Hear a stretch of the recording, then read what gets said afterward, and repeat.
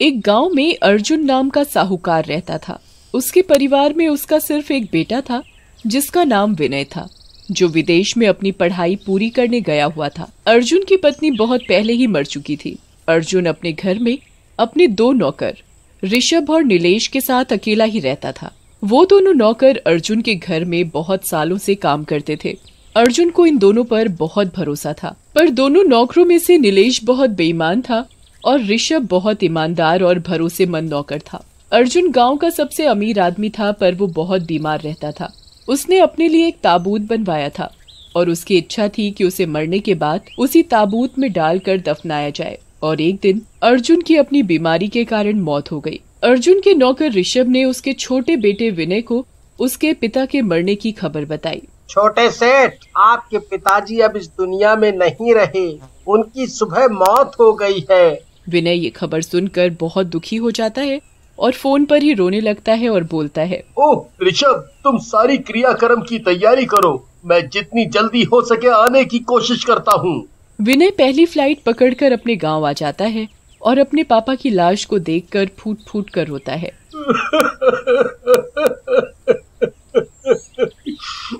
पापा आप भी छोड़ के क्यों चले गए? आपके सिवा मेरा इस दुनिया में कोई नहीं था। अब मैं अनाथ हो गया हूँ। मैं अनाथ हो गया पापा। अर्जुन के पड़ोसी विनय को बोलते हैं। रो मत बेटा हम सब तुम्हारे परिवार जैसे ही हैं। पापा ने मरने से पहले एक ताबूत बनवाया था। और उनकी इच्छा थी कि अब उन्हें उसी ताबूत में रखे और उन्हें दफनाया जाए। हाँ छोटे मालिक, आपके पापा ने मुझे भी ये बात बताई थी। वो ताबूत उन्होंने नीचे वाले कमरे में रखा हुआ है, पर उसकी चाबी हमारे पास नहीं है। हाँ मुझे पता है, पापा को उस कमरे के आसपास किसी का भी जाना पसंद नहीं था और इस कमरे की चाबी एक मेरे पास भी है। और विनय नौकरों को चाबी देकर ताबूत मंगवाता है।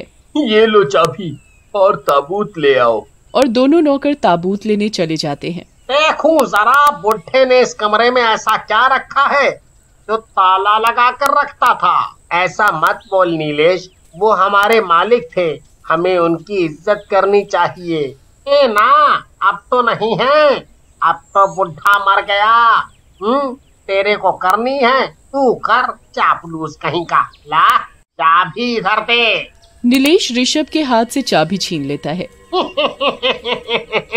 देखूँ जरा ताला खोल के क्या क्या रखा है। नीलेश कमरे का ताला खोलता है वहाँ बहुत सारी कीमती चीज़ें होती हैं। पुरानी किताबें ट्रॉफी मेडल और बहुत सारी पुरानी कीमती चीज़ें रखी हुई थी।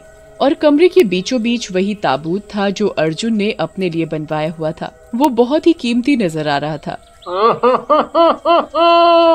वाह वाह वाह क्या ताबूत है। क्यों ना मैं इसे बाज़ार में बेच दूँ? कूड़े के लिए सस्ता सा ताबूत ले आऊँगा। हम्म, बड़ा किसी को पता लग रहा है। नहीं ये गलत है। मैं सबको बता दूँगा। मैं तुम्हें ये सब नहीं करने दूँगा। चुप कर चापलूस कहीं का। किसी को बताया ना तो बहुत पिटेगा। और हाँ तेरे को बचाने भी कोई नहीं आएगा। ये मालिक की आखिरी इच्छा थी उन्हें इसी ताबूत में रखकर दफनाया जाए। अगर उनकी इच्छा पूरी नहीं हुई तो उनकी आत्मा भटकेगी और उन्हें शांति भी नहीं मिलेगी। नीलेश बोलता है हम्म, किसी को कुछ भी बोलने की ज़रूरत नहीं है। और उसे भगा देता है। नीलेश का दोस्त एक बढ़ई था जो लकड़ियों की अलमारी ताबूत कुर्सी टेबल बेड और लकड़ी से बहुत सारी चीज़ें बनाता था। नीलेश अपने दोस्त को फ़ोन लगाता है। सुन यार क्या तेरी दुकान पर एक ताबूत है सस्ता सा? हाँ है। क्यों क्या हुआ? कौन मर गया? ओहो ज़्यादा सवाल मत पूछ। बाद में तसल्ली से तेरे को सब बताऊँगा। बस तू जो मेरे मालिक के घर के पास पार्क है वहाँ लिया और कोई पूछे तो किसी को कुछ भी मत बताइयो ये ताबूत किसने मंगाया? बस लेबर ज़्यादा लेकर आना। मेरे पास एक अच्छी लकड़ी का ताबूत है वो बेचना चाहता हूँ। ठीक है मैं खुद आता हूँ। मुझे वहीं मिल जाना। नीलेश अपने मालिक का ताबूत घर के पीछे वाले गेट से बाहर ले जाता है और अपने दोस्त को बेच देता है और अपने दोस्त से सस्ता सा ताबूत ले लेता है और चुपके से पीछे वाले गेट से आता है और ताबूत बदल देता है। नरेश आवाज़ लगाता है। ऋषभ कहाँ पर गया कामचोर? ये ताबूत उठाने में मेरी मदद कर। ऋषभ ताबूत देखकर समझ जाता है और नीलेश को बोलता है। अभी भी वक्त है नीलेश मान जा लालच और बेईमानी का फल अच्छा नहीं होता और मालिक की आखिरी इच्छा थी। उन्हें उसी ताबूत में लिटा करके दफनाया जाए। मैं तेरा इस काम में साथ नहीं दूँगा। नीलेश ऋषभ को एक थप्पड़ मारता है और बोलता है चाप उठा और मेरी मदद कर। और किसी को कुछ बोलने की ज़रूरत नहीं है। ऋषभ डर जाता है और जैसा नीलेश बोलता जाता है वैसा ही करता है। अर्जुन का बेटा अपने पिता का अंतिम संस्कार वैसे ही करता है जैसे उसके पिता की इच्छा थी। अर्जुन का अंतिम संस्कार खत्म हो जाता है और किसी को कुछ पता नहीं चलता। हम्म देख ऋषभ बोला था ना किसी को कुछ पता नहीं चलेगा। अगर मेरा साथ देता तो तेरे को भी कुछ पैसे मिल जाते जो ताबूत के बीच के मिलेंगे। नीलेश ऋषभ को हँसते हँसते बोलता है। बेवकूफ़ है तू। मैं बेवकूफ़ नहीं। मैंने मालिक का नमक खाया है। मैं उनकी इज़्ज़त करता हूँ और पैसों के लिए मैं बेमानी नहीं करता।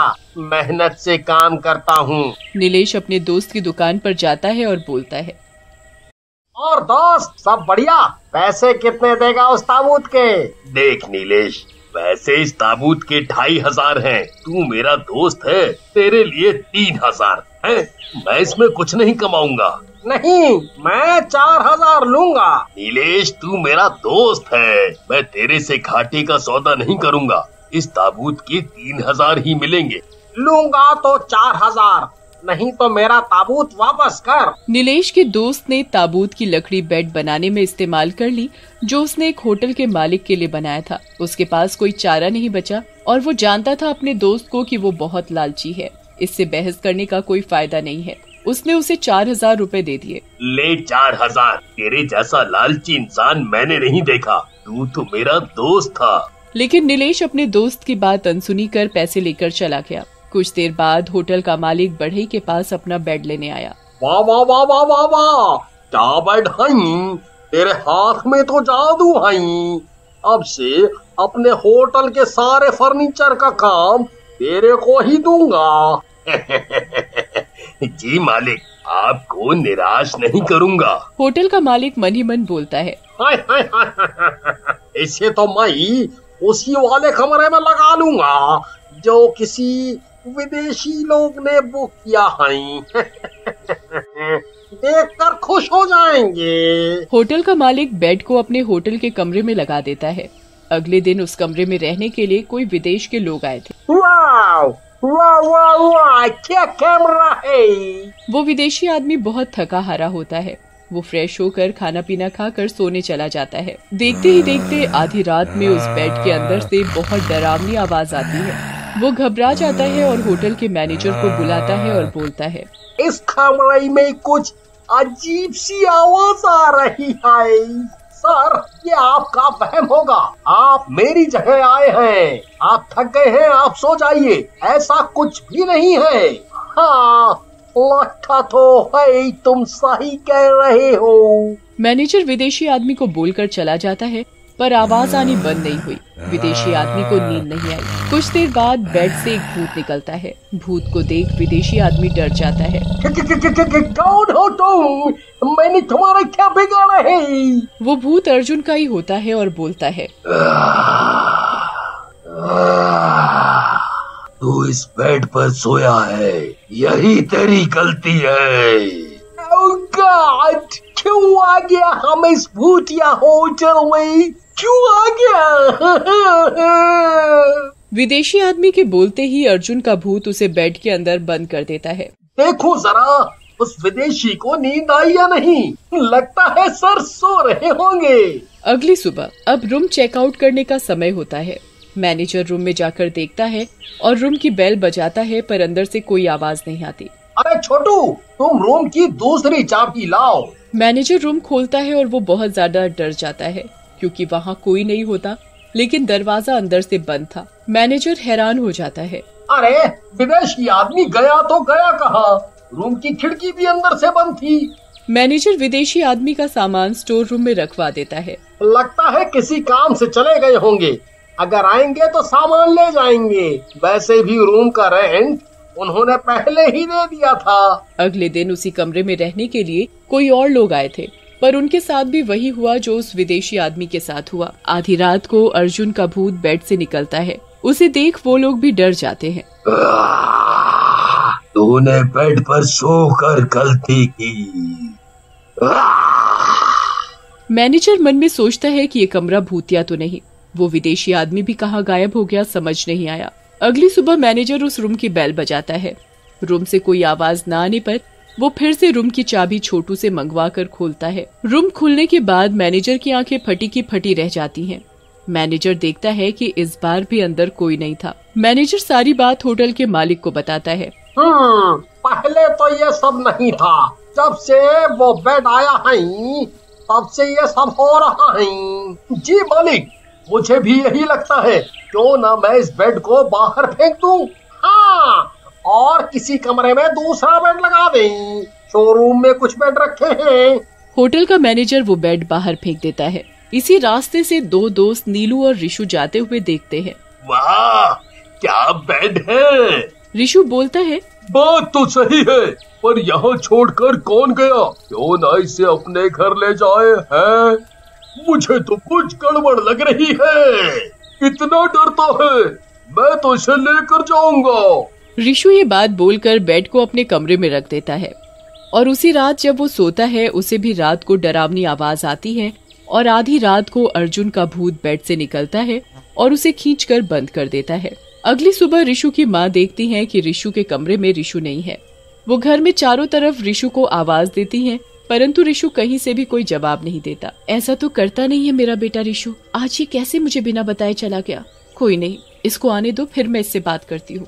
देखते ही देखते शाम हो जाती है, पर रिशु घर नहीं आता। ये देखकर ऋषु की माँ और ज़्यादा परेशान हो जाती है। थोड़ी ही देर में रात हो जाती है। तभी रिशु के कमरे में रखे हुए डरावने बेड से बहुत जोरों से आवाज़ आने लगती है।